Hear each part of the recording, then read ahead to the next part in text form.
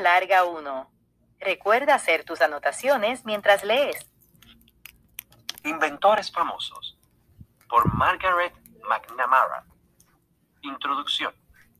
Un inventor es alguien que crea algo nuevo. Un inventor encuentra nuevas maneras de hacer las cosas.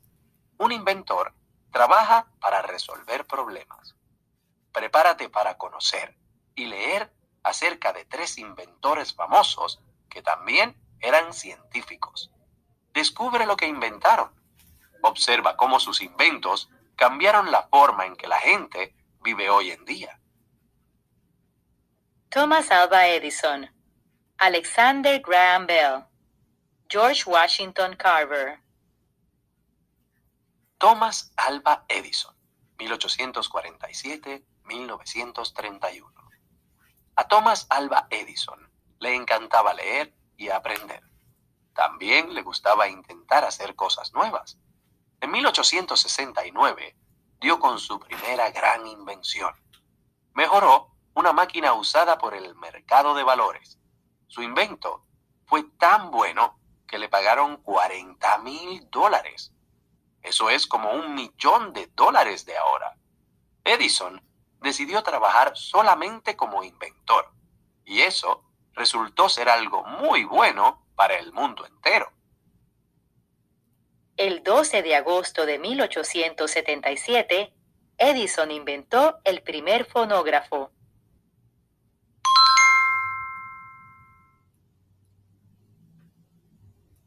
A lo largo de su vida, Edison y sus trabajadores crearon más de mil inventos. Edison es famoso por haber inventado la primera bombilla eléctrica de larga duración. También inventó el fonógrafo. El primer fonógrafo grabó a la gente hablando o cantando. Además, inventó la primera cámara de cine. Cuando estés viendo una película o escuchando música, piensa en Thomas Edison. Edison probó con éxito la primera lámpara incandescente.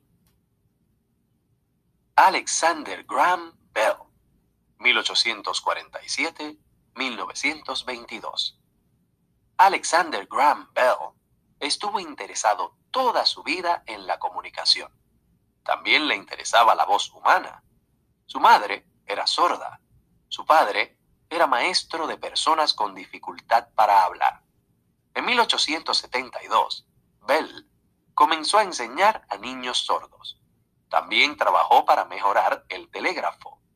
El telégrafo enviaba y recibía mensajes de sonido codificados.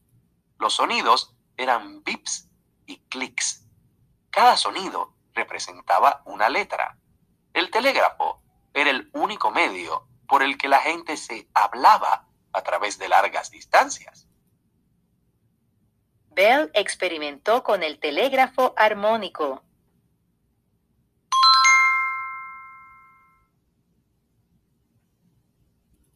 Bell y su asistente trabajaron juntos para inventar el primer teléfono. Bell quería inventar una máquina que enviara y recibiera la voz de los humanos. Trabajó para llevar a cabo esa idea durante años. En 1876, Bell mostró al mundo su primer teléfono. Las personas que estaban en lugares distintos pudieron oír sus voces. George Washington Carver, 1864-1943. George Washington Carver era afroamericano. Nació siendo esclavo en Missouri. La esclavitud terminó en 1865. Durante su niñez, le gustaba aprender sobre las plantas. Cuando tuvo la edad suficiente, Carver fue a la universidad fue el primer estudiante negro en la Universidad Agrícola del estado de Iowa. Estudió todo lo que pudo acerca de las plantas. Los agricultores del sur solo cultivaban algodón.